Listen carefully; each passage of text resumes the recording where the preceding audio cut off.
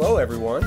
It's good to have you back with me for another Friday closeout. It's been a minute since I've done one of these because I took a little bit of a break while I was on leave, and wouldn't you know it, the world did not stop. So not only are we now having these conversations and these questions about the coronavirus, we are having this continuing, ongoing conversation in our culture about what our black brothers and sisters have been facing for many, many generations, uh, inspired by the horrific, tragic death of George Floyd. And that's just the most recent um, of things that have transpired that have brought these conversations to the fore.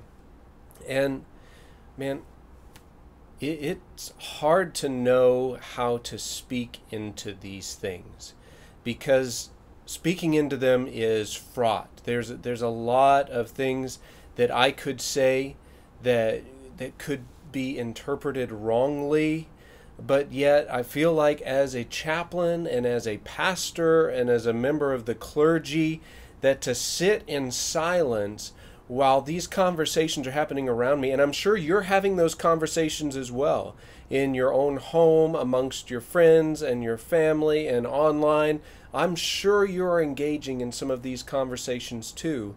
And so I wanted to hopefully just speak a little bit into it from the perspective of a chaplain and a person of faith. Now, these Friday closeout videos are devotional. They're where I take a, few verses from Scripture uh, and speak about those and uh, hopefully provide uh, some spiritual food for you during this time. And so the passage that I wanted to look at today is from Philippians, and it's in the second chapter, and it starts in verse 5. It says, Adopt the same attitude as that of Christ Jesus, who existing in the form of God did not consider equality with God as something to be exploited.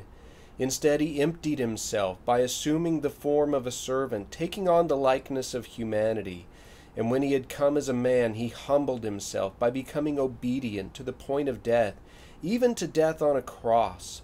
For this reason, God highly exalted him and gave him the name that is above every name, so that at the name of Jesus every knee will bow in heaven and on earth and under the earth, and every tongue will confess that Jesus Christ is Lord to the glory of God the Father. Now, this I'll be real with you. Uh, from a Christian perspective, this is one of the strongest theological statements that we have in Scripture. But here's why I think it speaks particularly to the situation that we are in now.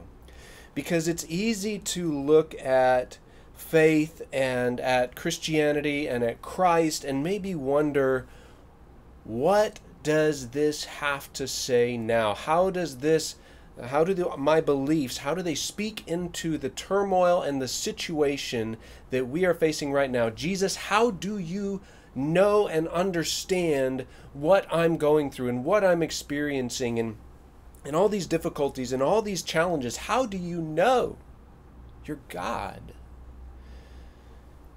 well this passage helps us understand a little bit about why we can rest in faith that Christ knows and understands what we experience.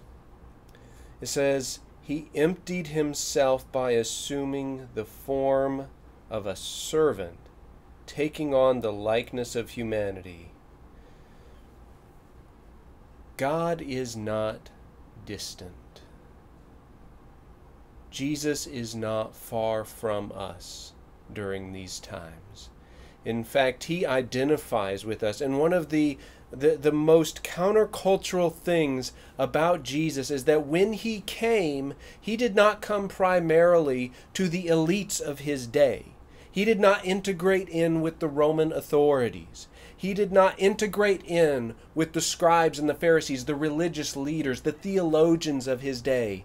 He went to the fishermen. He went to the tax collectors. He went to uh, sinners. He ate with sinners. He uh, ate with prostitutes. This was Jesus. He went to the people who a respectable person, quote unquote, would never go to. He identified with the lowly, with the downtrodden, with the oppressed, rather than integrating in with those who had the power and the influence in his society. And so, what does that tell me today as a Christian and as a follower of Jesus who one of my mantras is I want to be more like Jesus as I grow in life and as I grow in my faith. What does that tell me? It says that I need to open my eyes and I need to look around at my world and I need to see who are my brothers and sisters who are face who are some of those same things in our society today. And so when I read this scripture, I realize just how relevant and powerful the Word of God is even today, two millennia after the New Testament was written down. That it's still just as countercultural today as it was then. Because what is our tendency as human beings? We want to we want to go and we want to identify with the rich and the famous and the powerful and we want those things for ourselves. We want to be influencers, we want to be popular on social media. And yet Jesus went to the people who were lowly and downtrodden and he was humble. So friends, that's my challenge for you today. As you look out in the turmoil and you look out in all the different conversations and things that are happening in our culture today and people speaking to each other and about each other and around each other and arguing and yelling and we're wondering what is going to happen from all of this. If you are a christian and a follower of jesus the answer is be humble like jesus was humble.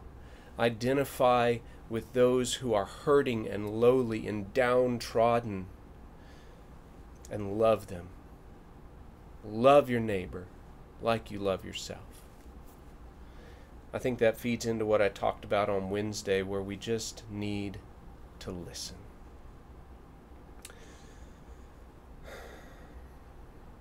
There's a lot going on in the world, and I don't have the answers. And so, one of the places where I turn when I am struggling, when I am wrestling, is to Scripture. And I want to encourage you today, if you have not read Philippians in a while. It's a short little letter, just a few chapters. Maybe pick it up and read it over the weekend, especially the second chapter, those verses that we just read today. Chapter 2, verses 5 through 11. And I hope that as I am continuously challenged in my life and in my faith to try to be more like Jesus, and man, I fall short, I fall so short, but I'm trying and I hope you will join me in trying. Thanks for watching.